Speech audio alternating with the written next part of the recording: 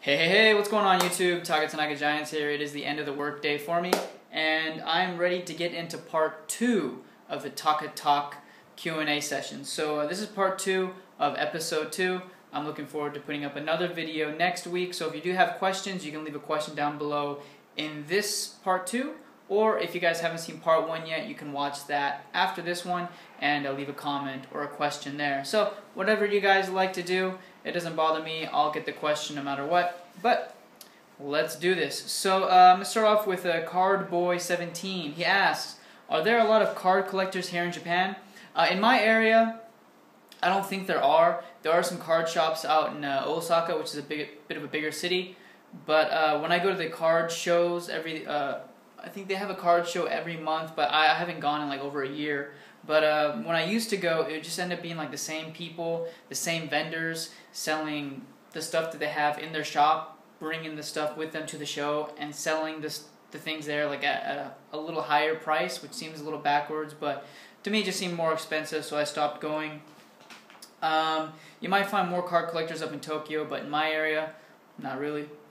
Um, he also asked, do most people commute by walking? And uh, yes, answer that is pretty simple, yes. Uh, people walk from their homes to like a bus stop, and then from there they go to work, or they walk to the train station to a subway station, and from there they go to work or school. So um, yeah, a lot of people do walk here. So Japanese people do enjoy some walking. Uh, Frog Bongo seven seven seven. He asks, "Are burgers and hot dogs popular in Japan?" And uh, this one, uh, yes and no. I guess uh, yes on the burgers, yes on the hamburgers are popular here in Japan. Hot dogs not so much because it's a little bit difficult to find actual hot dog buns, so I don't think people normally eat hot dogs over here. Uh, you can find like sausages like bratwurst or even like the wieners, I guess you want to call them a wiener. But um, they do have hot dogs over here in terms of like just the meat part, but they don't have the buns, so it's a little bit difficult to actually make a hot dog. But uh, yeah, I don't think they're very popular here. Uh, thanks for the question. Next from Frack Attack 49, he asked, "So what is the ML? Sorry, what is the equivalent, the Japanese equivalent to the U.S. Major League Baseball um, league? I guess uh, it would have to be uh, NPB, Nippon Professional Baseball. It is a uh, 12 teams, two leagues, six teams per league. It's the Central League, and you have the Pacific League, which is similar to American League, National League, if you want to call it that. But um, yeah, uh, you can you can always Wikipedia that if you guys want any more information. NPB baseball, and it'll come up uh, all the team names and everything, all the history. Uh, next up, Giants 49ers 28. He asks, uh, who's the greatest player ever? And this is a pretty difficult question for me to answer because um, it depends on what you define by great. Is it a person that can hit the ball far, hit a lot of balls far? Um, is it a, is it a player that's had the most influence on the game? Um, you know, greatest at their particular skill set or their position. And uh, I'm just going to go, um, let's see. Uh, I got cards earlier in today of uh, Nolan Ryan, and I think I filmed on this one, but I might I might put up that video uh, the day after this video goes up. But um, Nolan Ryan, strikeout leader. Um, not too many people throw his name out there.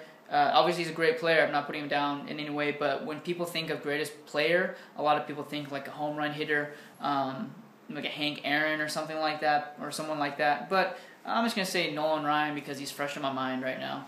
So uh, yeah, greatest player that I can think of right now. Uh, next, Topps 85401 asks, uh, what was the earthquake like for me in Japan? That was the big earthquake that um, that devastated the northern area of Japan and uh, swept away and killed a lot of people. Uh, the earthquake, I actually saw it live uh, on television. Uh, I felt the earthquake all the way in my area of Japan, and uh, it just came, came on the, the television, just breaking news, and it was a it was a, an eye-opening experience for me to see that. Uh, I watched the earthquake, the tsunami, all of that, all the news. I mean, it was constant for like about a whole week and uh, it was um, it was pretty intense. It's very scary. So uh, there were several, uh, if not maybe dozens of um, really strong uh, aftershocks after that. So it was a bit nerve wracking as well. But uh, he also asked how how is the uh, recovery going, and the recovery going is a very slow process. Uh, the reason being is that a lot of the people that were evacuated from the area are not really allowed to go back and uh, stay in their homes that they evacuated from. Uh, either the area is still unsafe or, um, well, still unsafe, obviously, but there's also the uh, nuclear reactor problems. And it's turning into a bit of a Chernobyl type of situation where people aren't able to move back into their homes and probably won't be able to live in that area for many, many, many years. So uh, radiation is a huge problem. But a lot of the people are uh, either still in temporary housing or they've left the area altogether and started living like in Tokyo or in another at a bigger metropolitan where they can find work easier. But um, yeah, so that's what's going on with Japan. If you guys want follow up information, just let me know. That's totally fine. Uh, next, uh, that TTM dude 22 asks, "What attraction do you miss the most uh, in the U.S.?" And uh, I'm not really sure what attraction means in this case. If it's like a landmark or if it's some like a roller coaster type of thing. But um, the first thing that kind of came to mind, like what's a what's a place I guess that I miss the most in the states. I know it seems kind of weird, but uh, Super Walmart, the big Walmart. And I have one nearby my folks' house. And the reason why I like it so much, like there's no Walmart here in Japan.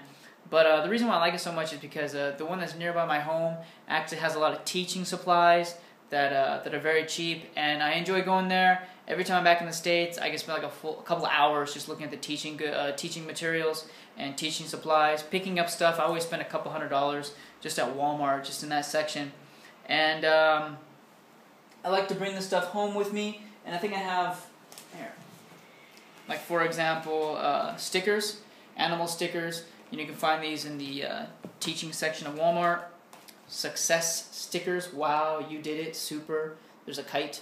Um, you know, etc., etc. There's all kinds of stuff. So I usually get this from my school and uh, posters as well. They usually have pretty nice stuff, and it's always fun for me to go back, buy new supplies, come back with them, and decorate the classroom with new supplies from the states because it's uh, it's pretty expensive to buy this stuff here in Japan. And um, yeah, I also like to go to Walmart to pick up um, like you know gifts and stuff for my students, candies, things like that. So uh, yeah, that's kind of the thing I do. Like whenever I go back to the states, it's not like I have to buy this for myself. It's it's never really like that. I, I prefer to go out and eat something because uh, a lot of the food is what I really miss. I think I answered that question. I think Randyman asked that question, but uh, the food is something that I really miss. So I, I tend to spend more my I guess focus more on the food, getting getting a good amount of food in me. But uh, in terms of shopping and stuff like that, not not too much. I, I tend to buy a lot of stuff for my classroom, for my students, and uh, and gifts. So uh, yeah, that's I know it's kind of a seem a little off tangent there, but that's kind of a place that I miss in the states. Uh, Wesker Griff, he asked two questions. First one is, do you have a lot of foreign tourists in your part of Kyoto, in my part of Kyoto? And uh, yes, there are a lot. There are quite a few like guest houses, youth hostels in this area, so uh, cheap accommodations for people that want to travel over here. And uh, have I ever helped anyone out, like a foreigner that's lost or needs directions? And yes, I have, uh, quite a few times actually. And uh, it's always very interesting because the majority of the people are not Americans. Either they're Europeans or uh, Asian, like Chinese, Taiwanese. So English can also be you know, they look like they speak English, but um, some of the times they have a really heavy accent, or um, it's just there's a bit of a language barrier. So that's always interesting, a bit of a challenge for me, but uh, it's something I do enjoy doing. And then uh, number two, the second question he asked is, uh, are there any U.S. shows or movies that are shown on Japanese television? And you know what's popular. So uh, I'll stick with the U.S. TV shows: um, Prison Break, 24, Lost. Um, oh gosh, the names are always uh, not always, but sometimes a little bit different.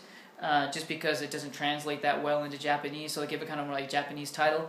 But um, yeah, uh, U.S. television shows, television series are pretty popular here in Japan. You can go to the DVD rental shop, and usually you can pick up uh, if it's like season one, episode one, episode two. If it's a new release, if they just released a new season or a new show, then you can usually find like uh, the first DVD that has season, uh, episode one, episode two. You can usually find that for free. They give that out for free at the DVD rental shop or it's like a, a dollar for rental, and after that it's just regular price. But they uh, really want to get you hooked in. So uh, yeah, U.S. shows are pretty popular here in Japan because there's more of like a there's I think they're more entertaining. There's more uh, you know um, the Hollywood effect, I guess, and then also uh, a lot of people like to use that as English practice as well. So pretty cool there. Thanks for the question. And then uh, next one, Small Whale One. He asked if I can change my hairstyle what would it be? Um, I'd probably go back to the whole 70-30 style, which is what I used to have when I was a kid. Uh, my father was in the military, so I used to go with him and uh, get a haircut at the military barber. So um, yeah, my hair still kind of parts naturally that way. And uh, who, also, who do I dislike in Major League Baseball aside from steroids and stuff like that? Um, right now, this season, have to be Ian Kennedy. It's not a pitcher that I normally rooted for, anyways. But um, I mean, you all know why. You, you, basically you don't you don't aim for somebody's head. So um, and also just like a little mini side little rant on him. Why is he still in high end products? I have no idea. So you know you can find him in a lot of higher end products and there's no value there. So um, yeah, unfortunate for us collectors. Next, Cam Guy ALA 15, ALA 15. Uh, he asked, number one, what is the most popular Japanese team? It depends a lot on the area that you're in. In my area, it's the Hanshin Tigers, but uh, I think overall in Japan, mm, it might be the Yomiuri or Tokyo Giants. Um, and then also, second question, who is the Beyonce of Japan? And uh, I guess the diva, pop singer, um, R&B singer of Japan might have to be Namie Amuro, N-A-M-I-E, Amuro, A-M-U-R-O. If you just want to YouTube search that, you can probably find some music videos. Uh, very popular singer over here, has had a long career. She has had a long career. Uh, next, Royals fan 835, he asks, who is your favorite current San Diego Padre and why? Um, there's, a, well, if I had to choose my favorite one, it'd probably be Yonder Alonso for the time being. I think he's getting taken off the disabled list pretty soon here. But um, the reason why I like him, not really any, uh, not really a strong reason, but uh, you can find a lot of his stuff in higher end products, and it's pretty cheap as well. Tribute Museum. So I've been picking up a lot of his stuff, been like super collecting Yonder Alonso over the last couple of months, and so uh, that's a mail day video that I'm looking forward to when I go back in the states. Um, but him also like Nick Hundley because Nick Hundley has a lot of hustle, and um, He's a catcher, by the way. And uh, yeah, that's pretty much it. I mean, uh, Cameron Maybin's pretty good as well, but he's he's always hurt. So I don't know. I kind of root for the team as a whole, not a particular player. Um, thanks for the question though. Next, Hunter Churchman asks, All Star starting nine for my uh, from any time, any country. Uh, this kind of a long. It's gonna be a long question, so I'm just gonna just do one position for now. Um, All Star starting nine. If I can choose a player, um, as a pitcher, it'd be kind of cool to have Hideo Nomo come back if he's like in his prime form. Because um, I'd imagine that my starting nine would be competing with somebody else's starting nine, and that starting nine would probably be full of uh, really historical figures, old players that have never seen Hideo Nomo pitch before. So I think if I can have him starting for me in an all-star game like this, uh, I think he can get to the first few innings uh, unscathed because a lot of the older pitchers, I can imagine Babe Ruth or somebody going up and going, "What the hell is this guy doing? Why is the guy? Why is the guy spinning around?" And all of a sudden the ball comes flying right in, strikeout. So we'll see. I don't know. I mean, that's the that's the person I can think of as a starting pitcher, just because he's kind of a weird windup and uh, is a, pl- a player that I like. So um, next up, uh, quite a few questions here from today, 1975. First, favorite Japanese meal sushi. Can't go wrong with sushi. Next, favorite Japanese holiday meal. This is a pretty interesting question. I'm gonna have to go with the New Year's meal, which is uh, what people eat here in Japan on uh, January 1st, January 2nd, and maybe January 3rd. But it is like a very, very large lunchbox that has many different items inside, and each item represents um, something that you wish for going into the new year, which is whether it's a good fortune, a long life. Um, it's hard for me to describe without actually showing you guys and kind of explaining one by one. But um, that's one of the meals that I enjoy eating. It's good, and also there's meaning behind it as well. So that's a good question. I like that one. Next, uh, how much is a current gallon of gas here in Japan? It floats around the six dollar mark, which is a lot more than the states, and that's because it's uh, heavier taxed here in Japan. But cars tend to be more eco-friendly or um, have better gas mileage, more efficient, so uh, it lasts you a little bit longer. Next, uh, what made me become a teacher? I kind of answered that in the last video, but just kind of uh, rehashing that. Um, it was the easiest job for me to get when I came into Japan to get situated, establish res residency, and get a job, get my work visa. And it's just something kind of stuck with because I really enjoy it. And now I start my own business. I have my own business, sorry. So, uh, yeah. And then the last anime that I watched, um, I don't really watch too much anime at all. I used to watch Naruto when I was a university student, when I was studying here in Japan as an exchange student. Uh, it helped me out a little bit, like with Japanese language, but I, I wasn't. Uh, I like the anime. I think it's kind of fun. It's interesting. I like the music, but uh, I went ahead and just kind of stuck with the Japanese television shows because uh, that's more practical Japanese practice for me. Um, also, what do I think about Robotech figures? Robotech figures. Uh, I think it means like a Robotech, Macross, Gundam, those type of robot figures that you can build yourself, plastic models. Um, I don't really build them because I don't really have the time or the space, but if you go to the anime shops here in Japan or these plastic model shops, you can find some pretty impressive designs. Or, um, you know, uh, people put them together, they paint them and everything, and they, they build like an entire battle scene. So it's pretty cool. I mean, you can find some pretty interesting stuff there.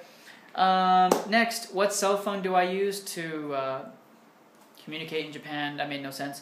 What cell phone do I use in Japan? I use probably the same phone as most of you guys do, which is an iPhone 4S. No, I think I have the standard 4. My wife has a 4S. Um, and then also, what camera do I use for YouTube? Right now, I'm using my iPhone.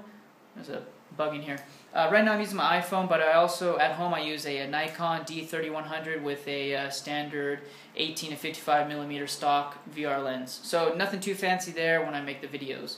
Um, and then the last question. Whew, I'll start all of a sudden the last question. Uh, Sports Hunter 73, he asks, are you from America?